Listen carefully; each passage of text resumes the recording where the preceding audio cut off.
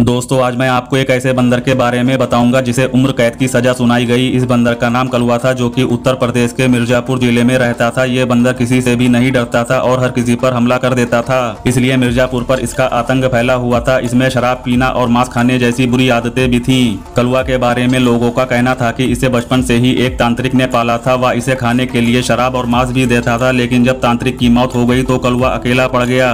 और इसे शराब और मांस नहीं मिलने की वजह से वह ज़्यादा गुस्साइल हो गया और लोगों पर हमला करने लगा।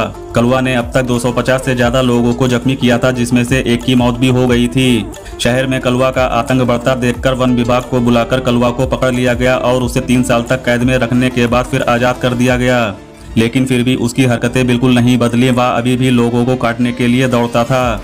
इसलिए वन विभाग के अधिकारियों ने उसे दोबारा पकड़कर पूरी उम्र कारावास में ही रखने का फैसला लिया।